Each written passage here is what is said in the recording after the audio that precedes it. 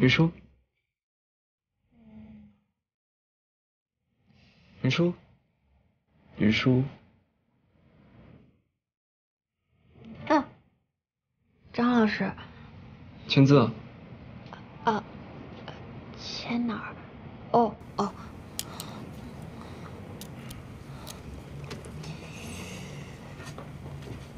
签好了。嘿。你签的是什么？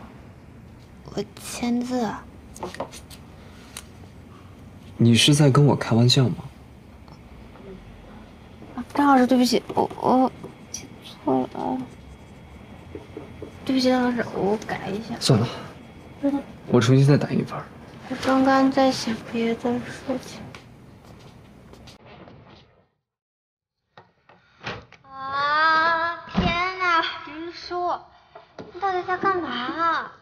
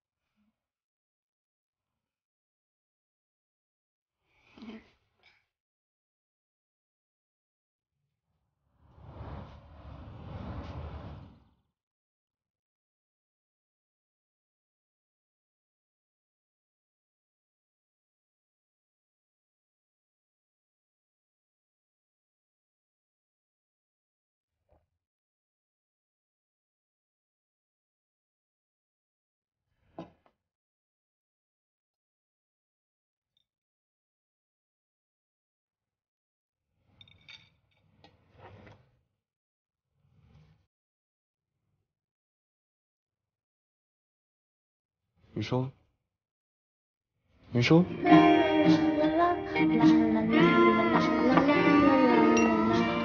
啊，张老师，上次给你买的习题做了吗？啊，我做了，做了，做了。拿给我看看。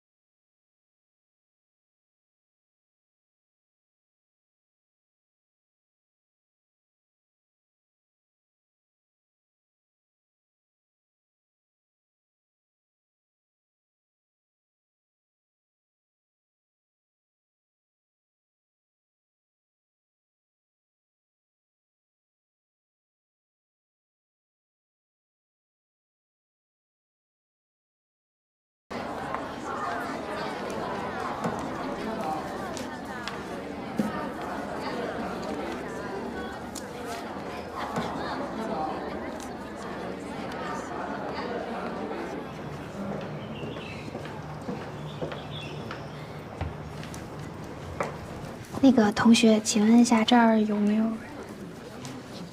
有人。啊，好。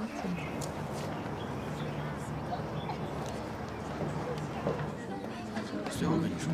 那个这儿没人了。没有。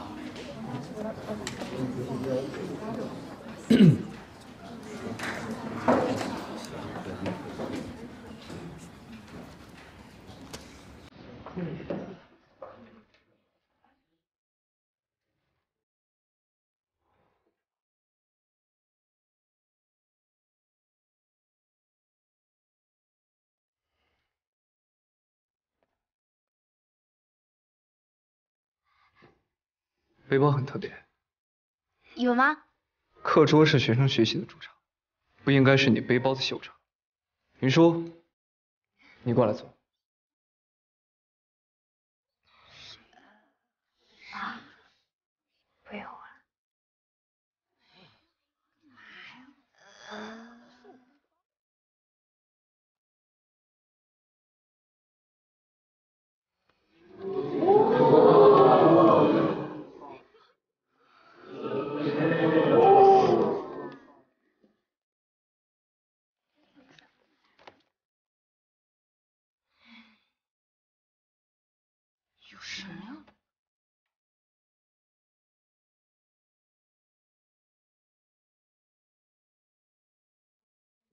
我们先讲一下相对数的两种类型。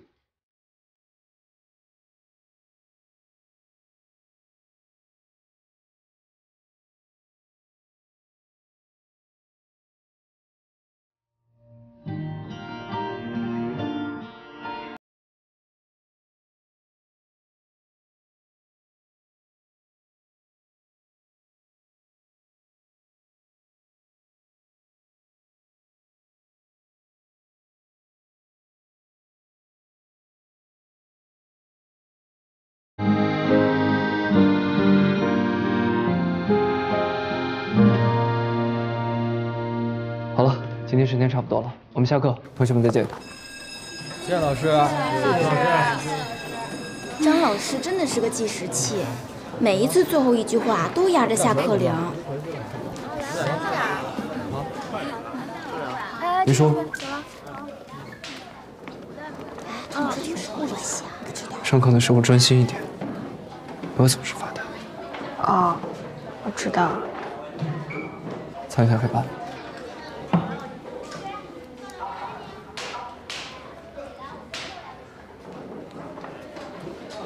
呃，我要一个那个。跟我来。哦。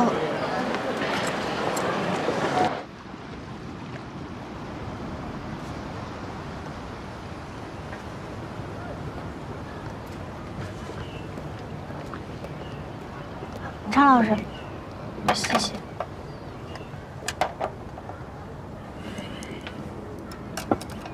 快吃吧。好。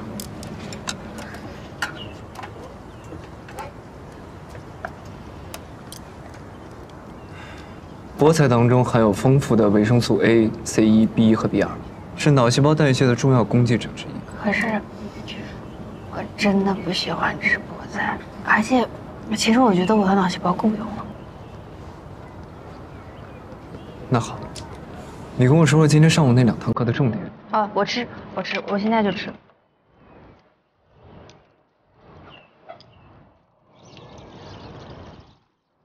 鱼也要多吃。张老师，我觉得我的大脑早都停止发育了。显然还没有，多吃一点。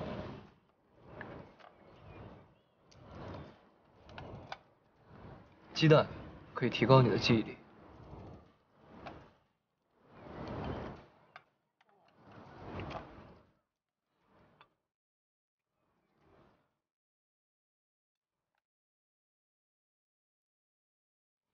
米饭。米米饭。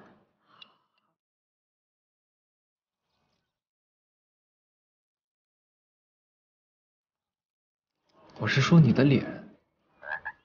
我的脸怎么了呀？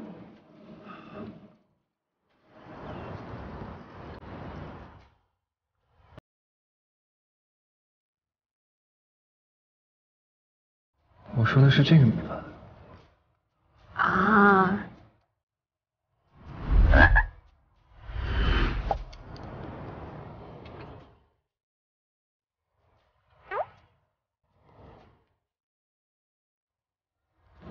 刚刚米粒儿粘在了你的脸上。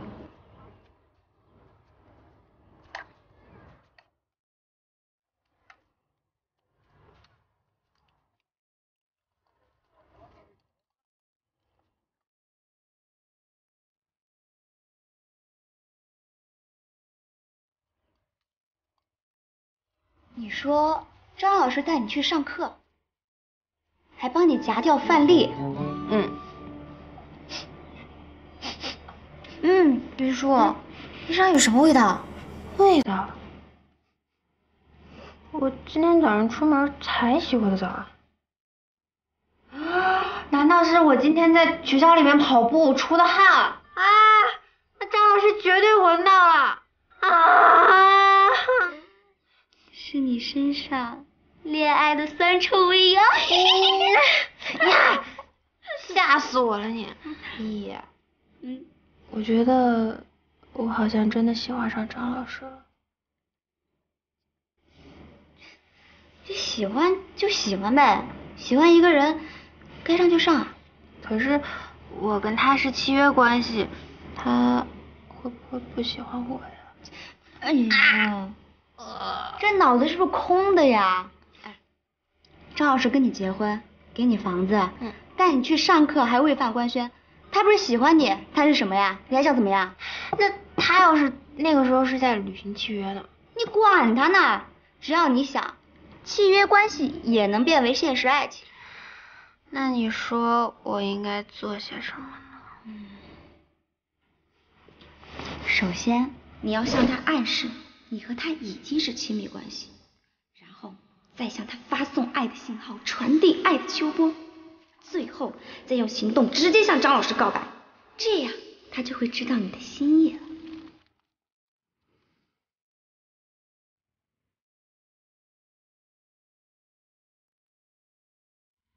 我知道了。啊，您您知道了？嗯。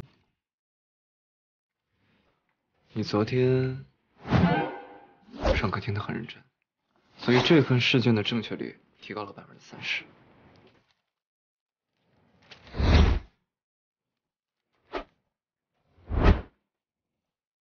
你最近为什么总是盯着我看？啊啊，我我我没有啊。是不是有什么问题想要向我提问啊？啊，那个张老师，我有个东西要给你，您等一下，我现在就去拿。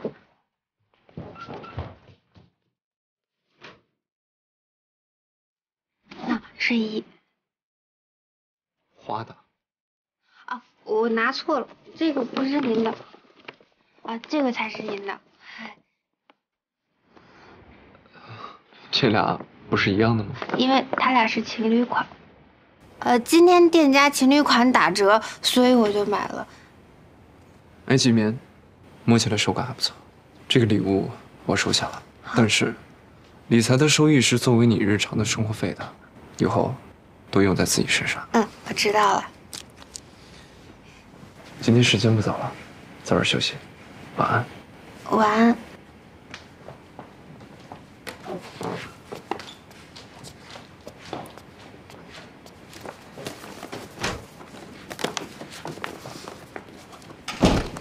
很多店员可以通过直觉来判断顾客属于哪一类人群，所以这也是一名优秀的店员需要具备的重要工作技巧。如果说我们将基于直觉的判断数值化，那么我们就可以通过计算。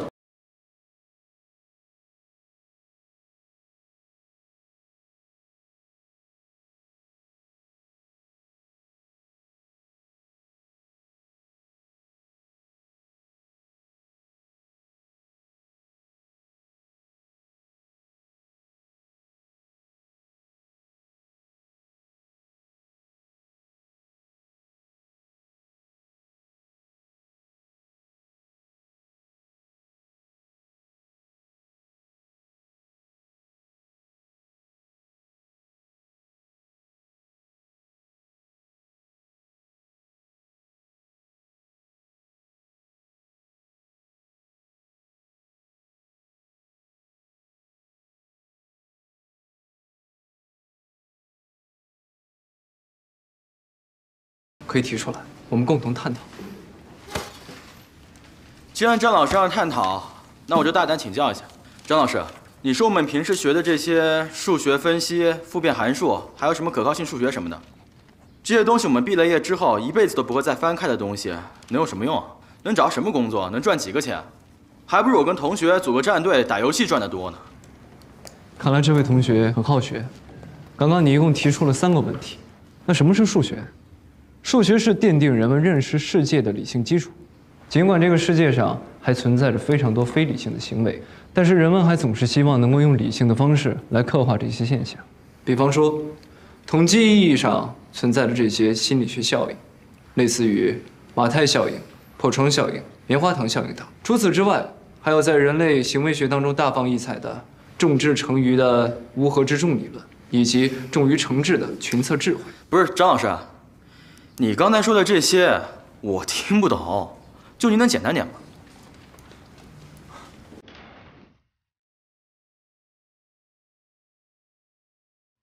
你打游戏对吧？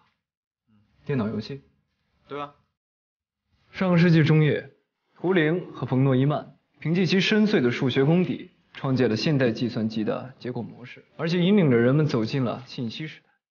说句你不爱听的，如果没有数学，你和你的游戏战队就只能用算盘来打游戏了。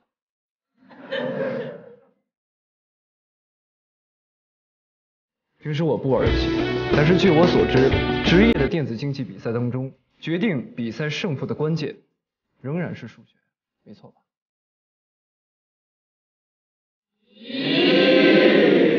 我一直都认为，不是我们选择了数学，而是数学选择了我们。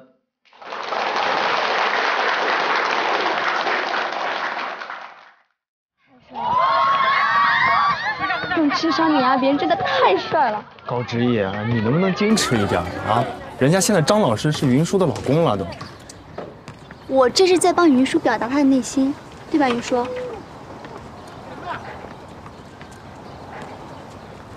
不会吧？哎，你真生气了？哎，没有，怎么可能啊？我就是在想，我跟张老师之间的差距是不是有点大？嗯，是有点。啊？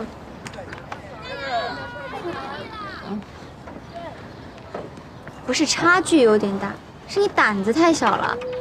我不是跟你说过要表达吗？要发送信号，你发送了吗？发送了。你发送了啊？发送什么了？我用理财产品的收益给他买了一套家居服，而且还是情侣款的。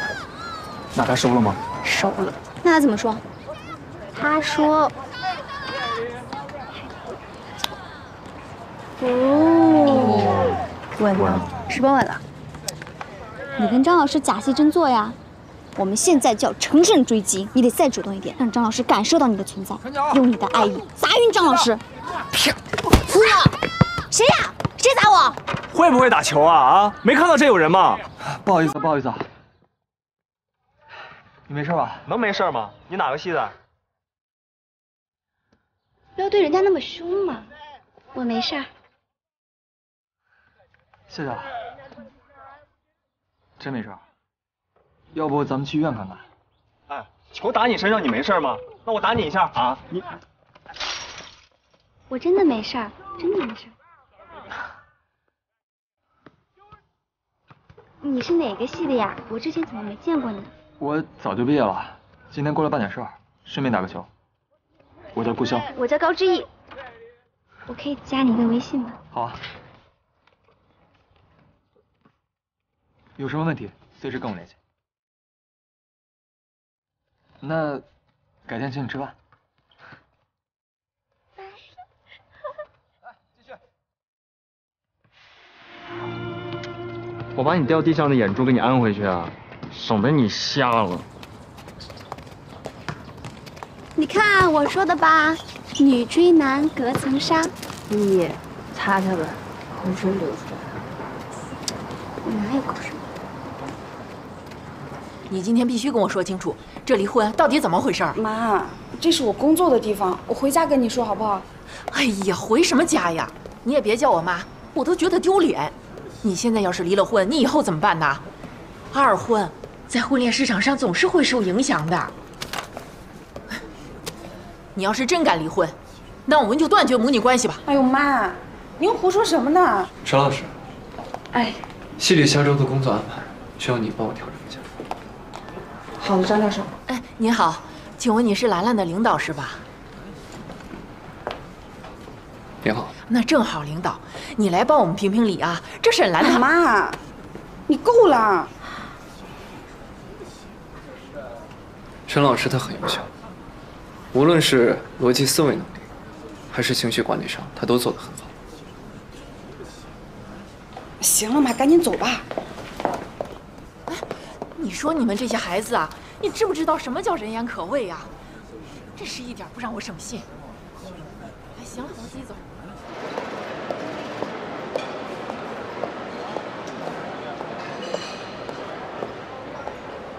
张教授，我能坐这儿吗？请便。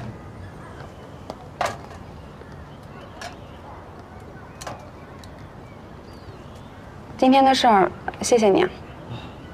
不必客气，我只是说了我看到的。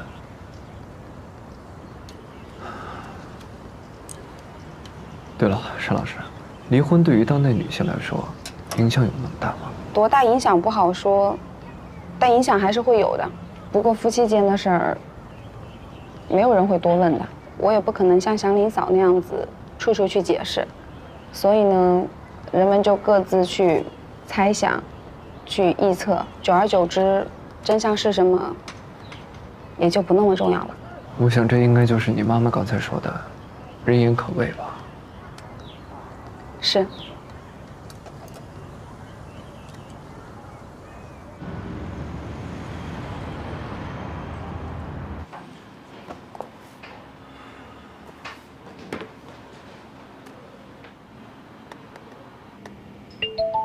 云舒，今天不用给我准备晚饭了，加班晚归。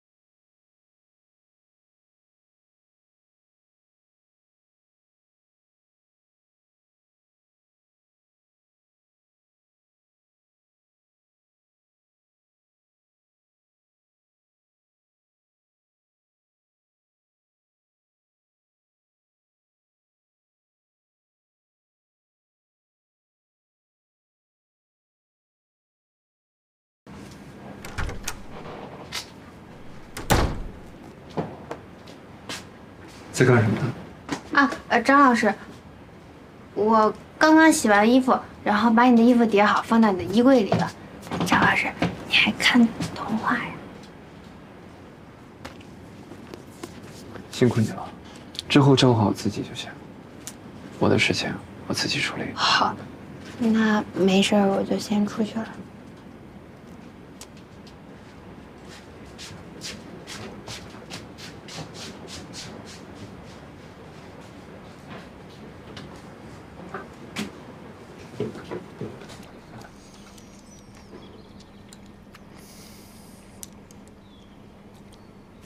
吃好了。张老师，是不是今天的面做的不够好吃啊？没有。啊，张老师，你等一下，我吃完立马就跟你走。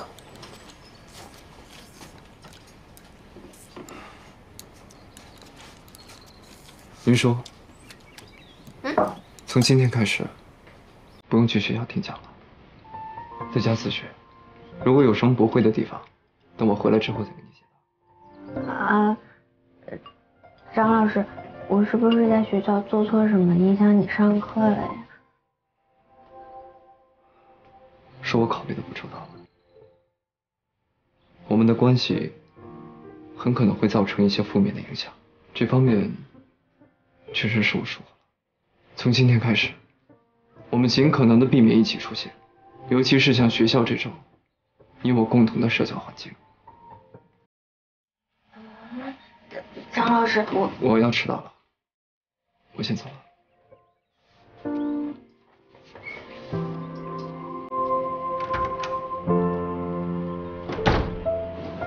你好，是闪送吗？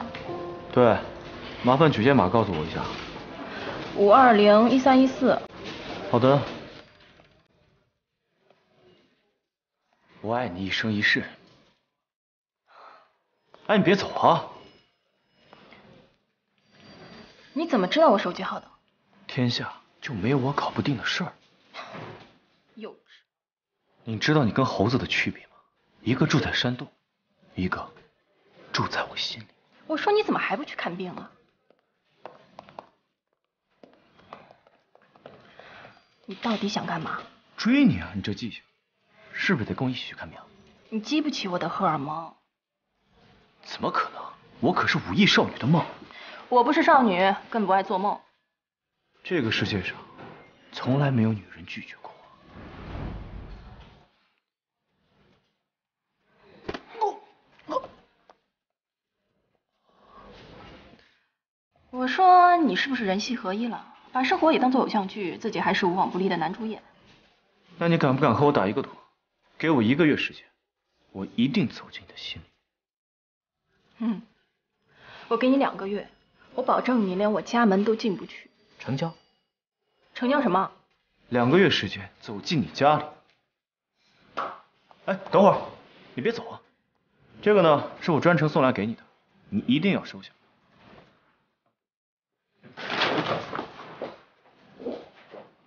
一言为定啊，于律师。完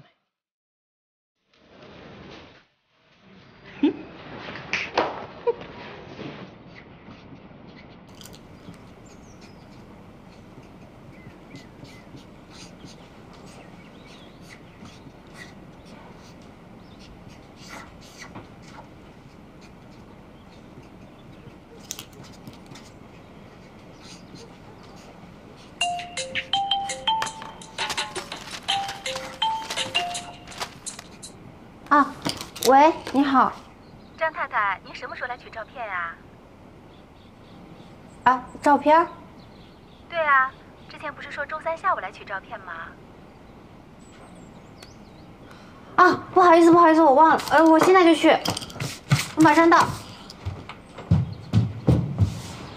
这个你拿好，有点重，没关系吧？没关系。那您慢走。好，谢谢拜你。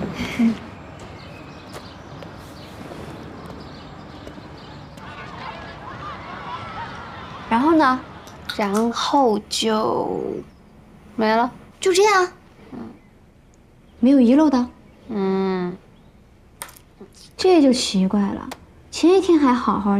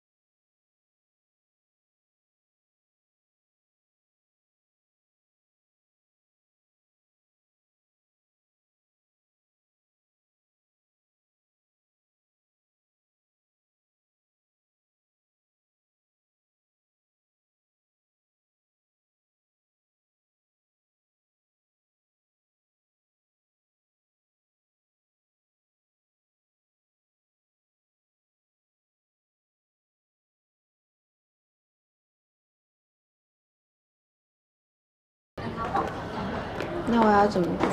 嗯，你就关心他，照顾他，或者突然出现在他面前，给他一个惊喜。惊喜，这样好。有什么不好的？你干嘛不相信我？我不跟你说了，我还有课。嗯，好，上课吧。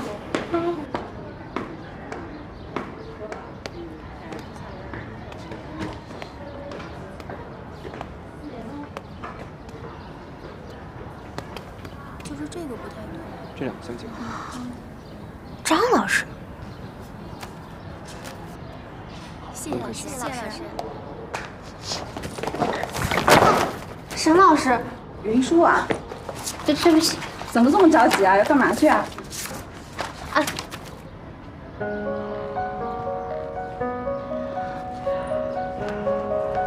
云舒，呃，张老师，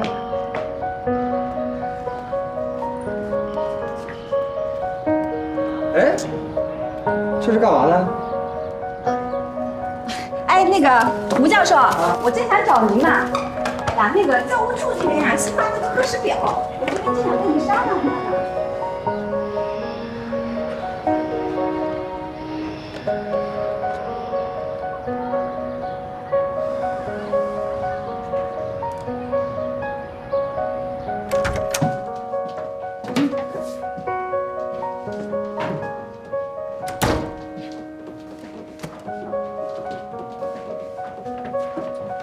张老师，你是不是生气了？云舒，我记得我今天早上告诉过你，不要去学校，也不要让更多人知道我们的关系，这会对未来造成很多的麻烦。张老师，你为什么不想让别人知道我们之间的关系？你是不是嫌弃我？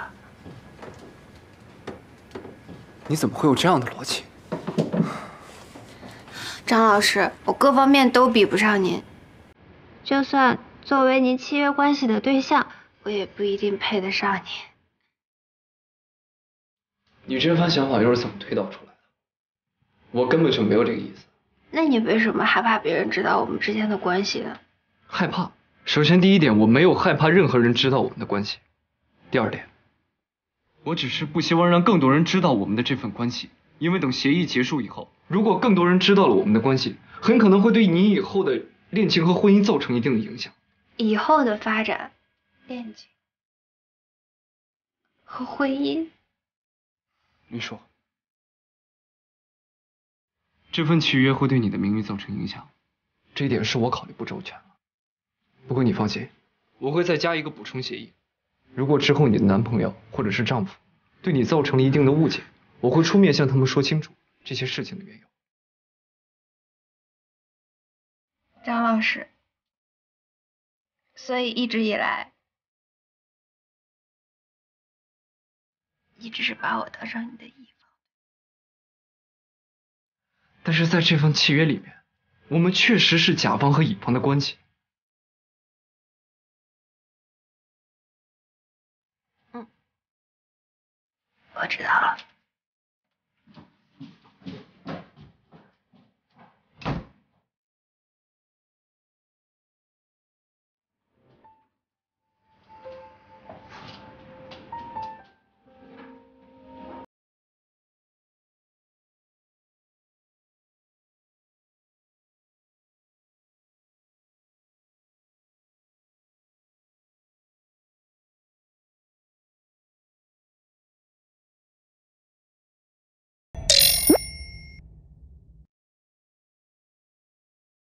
我觉得他这个当地如果热的话，肯定是可以。